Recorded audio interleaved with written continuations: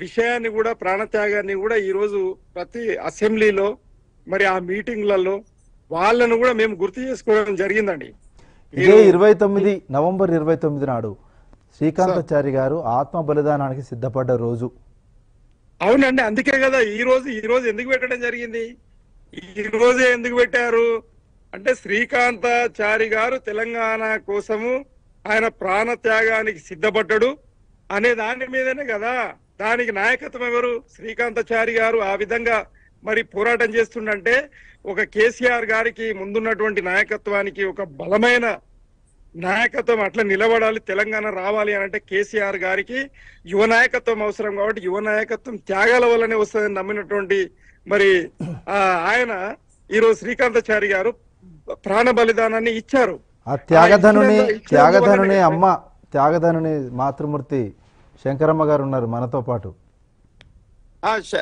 మాతృమూర్తి గారికి పాదాభివందనాలు. అయితే ఆయన చనిపోయిన దినాన్నే ఈ రోజు ఆయన ఆయన ఆత్మ బలిదానానికి సిద్ధపడ్డ రోజును ఎందుకు గుర్తు చేసుకోరు అనేది తల్లి ఆ కన్నీటి ఆవేదనతో కూడినటువంటి ఒక నిలదీత. 119 నియోజకవర్గాల్లో. ఒక నిలదీతనండి ఆమెది. ఏది? ఆవేదనతో నిండినటువంటి నిలదీత. Okay okay Shankaramma. గారిది. అయితే అయితే నూట పంతొమ్మిది గారు. ఆ, నమస్కారం అండి అమ్మా ఏమంటారు నూట పంతొమ్మిది నియోజక ఒక్క నిమిషం, ఒక్క నిమిషం. అమ్మ క్షత్రియ గారు కంప్లీట్ చేస్తారు చెప్పండి అయితే నూట పంతొమ్మిది నియోజకవర్గాలలో. ఈ రోజు శ్రీకాంతాచారి గురించి వాళ్ళ అమ్మ గురించి వాళ్ళ నాన్న గురించి వాళ్ళ కుటుంబం గురించి చెప్పుకోవడం జరిగింది ఆయనకు నివాళులు అర్పించడం జరిగింది తర్వాత కేసీఆర్ గారికి ఆయన బలిదానము అనేది ఒక చారిత్రాత్మకమైన దమ్ము ధైర్యాన్ని ఇవ్వడం జరిగింది. ఆ విషయాన్ని కూడా ప్రజలకు తెలియజేయడం జరిగింది. కాబట్టి అంటే ఒకటి పదవి ఇచ్చినంత మాత్రాన్నే వాళ్ళను గుర్తించడం జరుగుతుంది అని అనుకోవడం కూడా కొన్ని సందర్భాలలో సరైన పద్ధతి కాదండి. ఎందుకంటే మరి అలాంటి మరి ప్రాణాలు అర్పించినటువంటి ఎందరో పదమూడు వందల అమరవీరులు ఉన్నారు. ఒక్కరు కాదు రెండు గారు పంతొమ్మిది వందల అరవై తొమ్మిది నుండి శ్రీకాంతాచారి వరకు కూడా మరి ఎంతో మంది ఉన్నారు. అయితే అందరికీ ఆ సమయంలోనే ఏకకాలంలో న్యాయం జరగ జరగక జరగదు. ఎందుకంటే ఇక్కడ శంకరమ్మ గారు గౌరవనీయులు ఉన్నారు. వాళ్ళ మరి కడుపు కోస అందరికీ తెలుసు. ఎందుకంటే మాకు తల్లులు ఉన్నారు. ఆమె మనకు కూడా తల్లి లాంటిది కాబట్టి. అంటే ఏకకాలంలో ఆయన చేయకపోవచ్చు కానీ వాళ్ళని మర్చిపోయారు. శ్రీకాంతాచారి గారి కుటుంబాన్ని అనుకోవడం మాత్రం కరెక్ట్ కాదు. అడుగుదాం. ఏమంటారమ్మా మీరు? ఇప్పుడు శ్రీకాంతాచారితో మా పదమూడు వందల మంది చనిపోయారు అంటారు కదా అతను. మరి ఉద్యమాలు ఎంత మంది చేసిరండి జై తెలంగాణ అని జెండా పట్టిన వాళ్ళంతా మినిస్టర్లు అయ్యారు మంత్రులు అయ్యారు?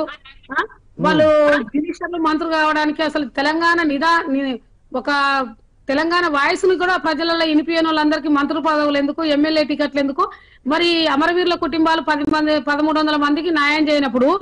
ఈ మిగతా వాళ్ళందరూ ఎక్కడి నుంచి వచ్చిరండి వాళ్ళు? అరువులా? వాళ్ళ అరువులేనా? అమరవీరుల కుటుంబాలు కాదు పదమూడు వందల మందికి? ఒక పదవి ఇవ్వనంత మాత్రాన నుండి మీ బాధకు జవాబు ఇవ్వాలనుకో మీ బాధకు మీ బాధ సరి అయినది కానీ దానికి సరి అయిన సమాధానం ఇప్పటిదాకా మీకు ఎవరు ఇవ్వకపోవచ్చు నేను మీకు ఇస్తాను. దయచేసి అర్థం చేసుకోవాలి. ఇప్పుడు పదవి ఇవ్వనంత మాత్రాన. గుర్తించినట్టు కాదు గుర్తించినట్టు కాదని అనుకోవద్దంటున్నారు. మా- పిల్లలు మా అమ్మా, పిల్లలు పదవుల కోసం మా పిల్లలు పదవుల కోసం చనిపోలే గాని. ఆ కుటుంబాన్ని గుర్తింపు ఏం చేశారు? కుటుంబం గుర్తించకుండా తను చేసిన త్యాగం డిసెంబర్ థర్డ్ నాడు చనిపోయిండు. ఎవరన్నా అధికారికంగా వచ్చి శ్రీకాంతాచారి విగ్రహానికి దండలేసిర్రా?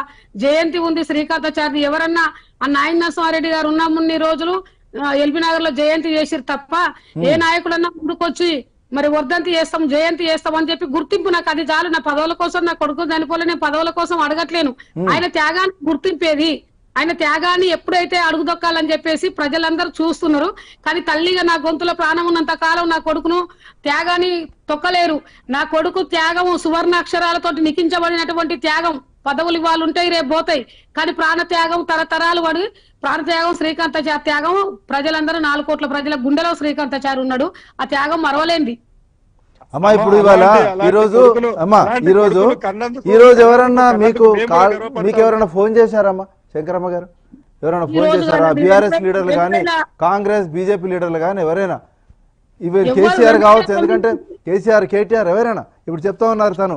ఆ, నూట పంతొమ్మిది నియోజకవర్గాల్లో కేసీఆర్ శ్రీకాంతాచారిని స్మరించామని చెప్తా ఉన్నారు. మీకు ఎవరైనా కాల్ చేశారా ఒక తల్లిగా? రెండు వేల తొమ్మిది నుంచి రెండు వేల పద్నాలుగు వరకు. దీక్ష దివాన్ రోజు నేను టిఆర్ఎస్ పార్టీలో పది సంవత్సరాలు పద్నాలుగు సంవత్సరాలు అందులోనే ఉన్నాయి కానీ ఏ రోజు కూడా నాకు ఫోన్లు చేయలేదు. చేయలేదు. ఈ- కార్యక్రమం చేస్తున్నాము శ్రీకాంతాచారిని గుర్తు చేస్తున్నాము. కనీసం శ్రీకాంతాచారి వర్ధంతి ఉన్నది తెలంగాణ భవన్లో ఒక ప్రెస్ మీట్ పెట్టుకుంటామంటే కూడా నన్ను పెట్టుకోనివ్వలేదు. ఓకే. నేను ఇవాళ శ్రీకాంతాచారిని గుర్తు గుర్తు ఎందుకు చేయాలి తల్లి ఎందుకు బాధపడుతుందంటే ఆయన ఈ రోజు మాడిపోయిండు. మాంసాన్ని కరగబోసిండు. నరాలు చిట్టపట్ట అంటున్నా గానీ తెలంగాణ అని అన్నాడు. జై తెలంగాణ అన్నటువంటి శ్రీకాంతాచారిని ఇవాళ దీక్ష దివాన చేసుకుంటారు సంతోషం. తెలంగాణ రాష్ట్రం వచ్చింది సరే చేసుకోవాలి దీక్ష పట్టిండు. కానీ అట్లనే ఇదే రోజు శ్రీకాంతాచారి చనిపోయిన రోజు కదా. అట్లే శ్రీకాంతాచారిని గుర్తించుకుంటే కూడా తల్లిగా నాకు ఒక తృప్తి. ఆహా నా కొడుకు త్యాగానికి అర్థం ఉంది కదా అనుకునే అటువంటి తృప్తి.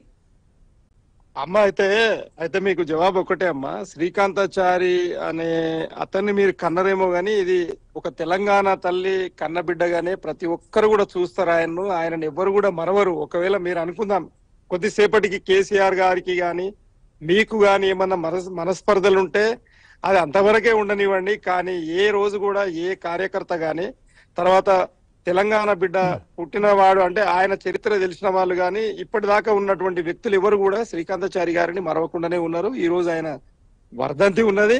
ఆయన నూట పంతొమ్మిది నియోజకవర్గాలు ఈరోజు చనిపోయిన దినాన్ని వాస్తవంగా టిఆర్ఎస్ పార్టీకి సంబంధించిన ప్రతి నాయకుడు గుర్తించిండు ఆయనను గౌరవించిండ్రు. చూశారు. అయితే రాజకీయాలు వేరు ఎమోషన్ వేరు. ఈ రోజు తెలంగాణ ప్రజలందరూ కూడా దాదాపు డెబ్బై నాలుగు సంవత్సరాల తన క్షత్రియ గారు. క్షత్రియ దీన్ని కూడా ఒక రాజకీయంగా మనం చూ కొన్ని కొన్ని అంశాలను మీరు ఇందాక చెప్పారు. రాజకీయంగా కొన్ని అంశాలను మనం చూడలేమన్నారు. వాస్తవం అది హండ్రెడ్ పర్సెంట్. ఇప్పుడు శంకరమ్మ గారి ఇష్యూ కూడా అలాంటిదే. కేటీఆర్ గారు కాల్ చేసి అమ్మా నమస్తే బాగు